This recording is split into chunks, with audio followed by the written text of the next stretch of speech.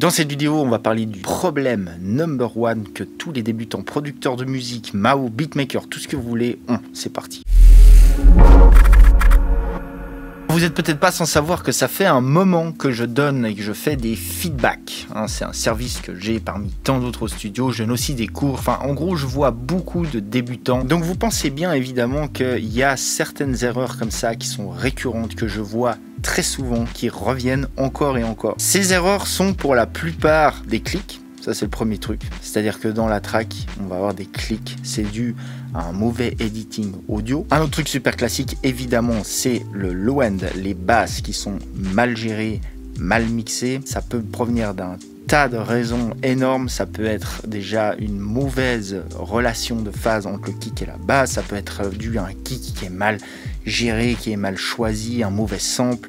Ça peut être la transition entre le kick et la basse qui est mal faite, les sidechains, enfin bref, les raisons sont ultra nombreuses, mais au final, c'est aussi de nouveau quelque chose qui est récurrent. Peut-être pas encore en citer une dernière, je vais citer peut-être la balance qui est pas correcte, c'est-à-dire l'élément le plus basique, le plus principal de tout mixage qui est simplement une balance, le niveau entre chaque élément qui ne va pas être correct, qui va être mauvais, soit par rapport au genre ou voilà, au, contexte, etc. Tous des trucs en fait, on va dire, qui sont basiques. Je vais vous dire les questions qu'on me pose le plus par rapport à ces feedbacks. C'est dans les très grandes lignes, sans entrer dans le détail, c'est majoritairement des questions de mixage et de mastering, genre des trucs bien techniques, genre quels tools utiliser pour faire du MS sur tel machin, sur tel master, ou des trucs genre comment sonner comme tel artiste, comme Skrillex par exemple, etc. etc. J'ai très très très rarement des questions du genre comment produire, comment faire un super arrangement, comment avoir un super sound design, comment faire que les bases soient correctes, etc.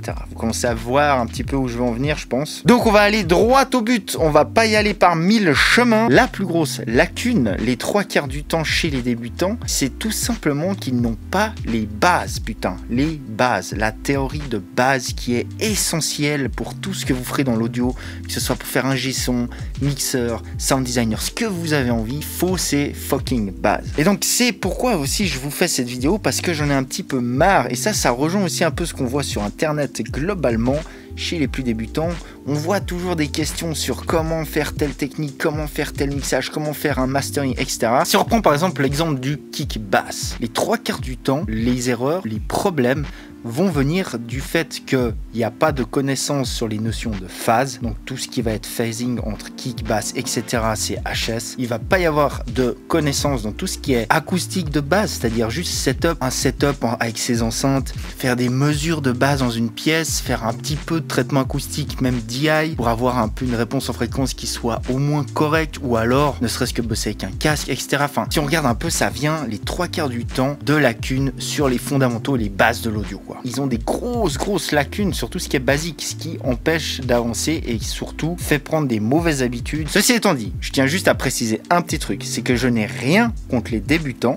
Bien au contraire, mon but c'est plutôt d'aider les débutants. Là où il y a quelque chose qui me gêne et ce que je n'aime pas, c'est le mindset de croire qu'on sait tout parce qu'on a vu trois vidéos et de vouloir en fait toujours des raccourcis et de vouloir un résultat sans vouloir fournir le travail. C'est là précisément ce que je n'aime pas et ce que je critique. Ok, comme ça c'est clair pour tout le monde. Donc maintenant je vais vous donner une solution simple si vous voulez avoir des bonnes bases dans l'audio. Alors oui, vous me voyez venir, je vais vous vendre quelque chose dans le sens où j'ai une formation qui peut couvrir tout ça, c'est-à-dire toutes les bases fondamentales, tout ce dont vous avez besoin comme fondamentaux dans l'audio pour ensuite bien progresser sur le bon chemin, sur la bonne route, vous allez gagner un temps ouf. Si ça, ça vous intéresse, je vous laisse aller checker. Vous pouvez aller sur le site web qui s'affiche là en dessous, allez checker le programme. Et si vous sentez que ce sont des sujets que vous ne maîtrisez pas, je peux que vous conseiller d'aller suivre cette formation. Sincèrement, pour le prix que vous allez mettre, ça, va être le meilleur retour sur investissement que vous puissiez trouver sur Internet. Je vous le dis tout clair. Pour la petite histoire, c'est une formation que je donnais à la SE Institute, hein, parce que oui, j'ai donné des cours à la SE Institute pendant plus de 10 ans, j'en donne encore quelques-uns, mais maintenant c'est beaucoup plus rare, mais que j'ai amélioré en rajoutant des infos nécessaires uniquement à la production de musique. C'est beaucoup plus axé production de musique. Évidemment aussi pour les ingé beatmakers, ce sera utile pour tout le monde, mais ce que je veux dire par là, c'est que j'ai réuni uniquement les infos vraiment utiles et nécessaires pour bien commencer, pour avoir des bonnes bases. Maintenant, est-ce que vous pouvez pas trouver ces infos sur internet gratuitement? Évidemment que vous pouvez.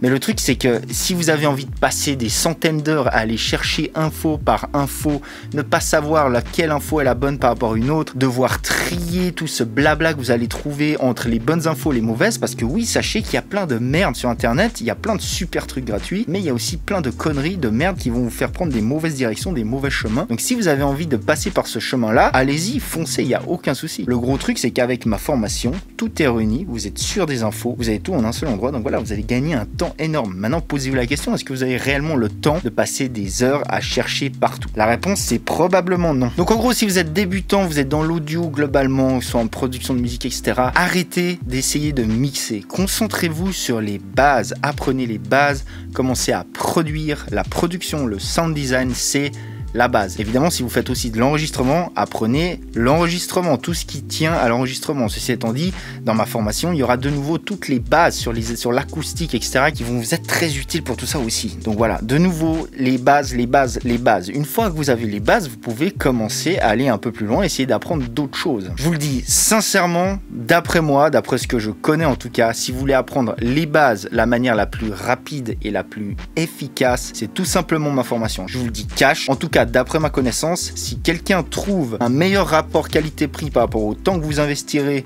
et ce que vous allez en retirer, vous me faites savoir ça dans les commentaires parce que ça m'intéresse. Donc voilà, encore une fois, je n'ai rien contre les débutants, bien au contraire, mon but c'est plutôt d'aider les débutants parce qu'il faut savoir un truc, c'est que les débutants d'aujourd'hui sont les futurs producteurs, sont le futur de la musique. Dans ces débutants-là, il va y en avoir qui vont cartonner, qui vont être super bons et qui vont amener de super choses. Donc voilà, mon but c'est vraiment plutôt de vous aider que de simplement vous bâcher, qu'on soit bien clair. Je suis le premier à vouloir donner de ma personne pour ceux qui sont prêts à apprendre, prêts à donner de leur temps et prêts à s'investir. Parce que c'est comme tout, c'est du boulot c'est des années de pratique. Mais si vous lâchez rien, que vous avez le bon mindset, éventuellement vous allez y arriver. Donc voilà les gens, c'était Igor Chouette, Strop Studio, je vous dis à plus. Ciao